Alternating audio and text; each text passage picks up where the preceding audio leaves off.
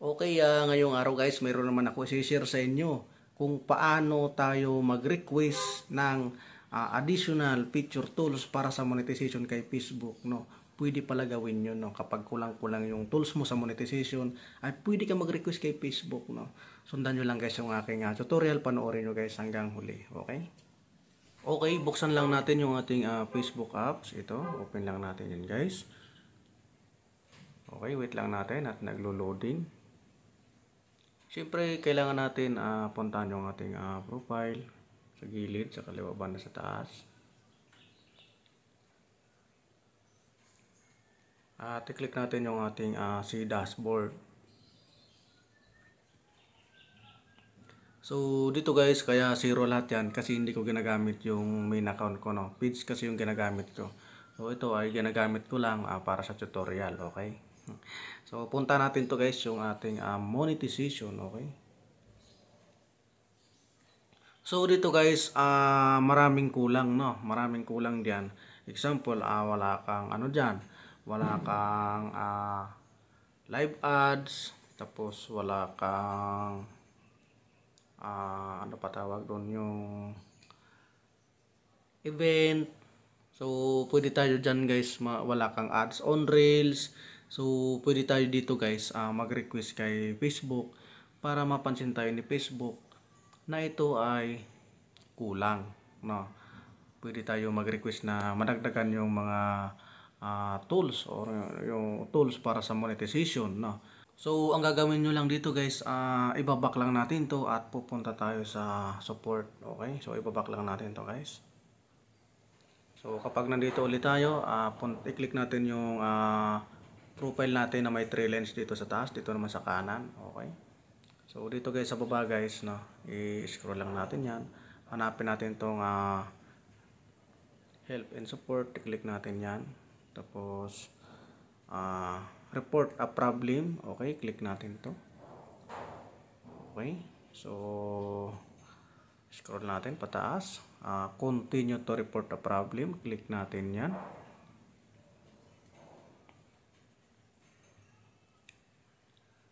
Ah, tapos pindutin natin to guys. Ah, include in report. Ayan. Click natin yan. So dito guys, ah, mamimili kayo rito. Mayroon kayo ditong pagpipilian. Ah, so dahil lang i-report natin yung ating ah, profile. So hanapin natin dito yung profile. No? Kapag page, ah, itong page hanapin nyo. No? Pero sa atin, ang, ang kailangan natin yung profile. No? Ito guys, ah, ito guys, example lang to. No? Tutorial lang to. No? Okay, click natin yung ah, ito guys, automatic mayroon na siyang ano, ah, image no. So ang gagawin niyo diyan guys no, ah, i-screenshot natin 'yun, yung yung kanina. So babak lang tayo na. Punta tayo dito sa ano ulit. Punta natin yung ating ah ito, ah, dashboard. So, i-screenshot natin to guys na ito ay kulang, no? So, maraming kulang dyan. Ay, screenshot lang natin yan.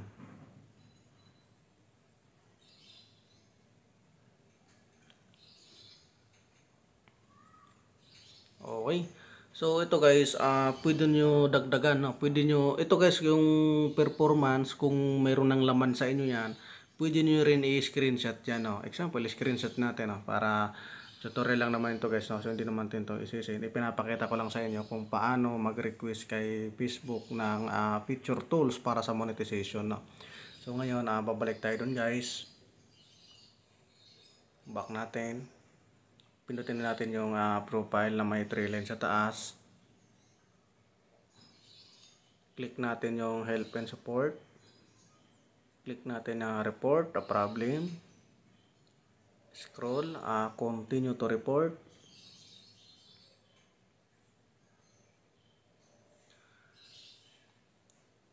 Include in report, click natin yan. Hanapin natin guys yung ating ah, profile na ulitin ko kung page yung may kulang na tools sa monetization, page ang piliin nyo guys. No?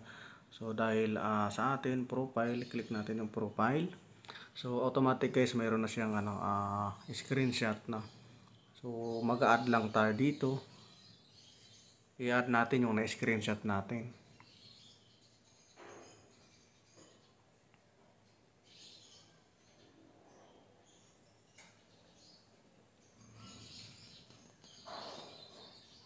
Tapos yung isa pa dagdag natin.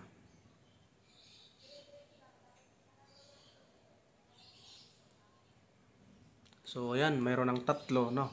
So ito guys, automatic nag-screenshot 'yan, no. Tapos ito, ito yung tools na re-request natin dahil kulang, kulang yung features ng tools para sa monetization, no. Tapos ito naman yung performance, kung yan ay maganda na yung performance nyo, may laman na yan, isama nyo sa screenshot, no. Tapos, i-click natin yung, ah, dito guys, i-click natin tong, ah, describe the issue. So guys, ah, mayroon tayo dito, ah, basta, ah, eh, pwede nyo to guys, ano, i-basahin na lang na ito. So mayroon tayo dito guys kinapi. So ito guys gayahin nyo na lang yan guys. No, hello Facebook team. Good day. I hope you will give me a chance to have these features to my Facebook account. Ads on Reels, Star Live Ads. Paid online event, I promise that I will upload useful content and won't violate the Facebook community standards policy and monetization policy anymore. Thank you. So yan, yan ang ilalagay natin dito guys na. So, i-paste na lang natin yan dito. Paste. So, ayan. Tapos guys, ah pipindutin nyo na lang tong ano, pipindutin nyo na lang to guys na send kapag okay na yan, no. So, kapag okay na yan guys, pindutin nyo yung send. Ayan. So, automatic magsisend na yan kay Facebook, no. So, ako guys, hindi ko na sa isi-send, no, kasi hindi ko naman ginagamit yung aking ah ah profile professional mode no. So ang ginagamit ko kasi yung Facebook page ko no. So kumpleto naman siya ng tools so wala naman siyang kulang no. So dito guys ipinakita ko lang sa inyo guys yung pwede niyo gawin. Pwede kayo mag-request kay Facebook ng ah, additional tools para sa monetization kapag kulang na kulang yung tools nyo dyan. No? So katulad ditong ah, profile ko, maraming kulang. So ito guys, so ito yung ginawa ko ng tutorial. No? Hindi ko naman siya ginagamit guys, ginagawa ko lang siya ng pang tutorial. No? Ang ginagamit ko talaga yung aking Facebook page guys. No? Yung ah, informative TV. So pa, sa akin yun guys. No? So ayan guys, kung meron kayong natutunan dito guys, ah follow for more, follow nyo yung aking Facebook page, ah, Informative TV. Maraming maraming salamat sa inyo guys. Thank you for watching.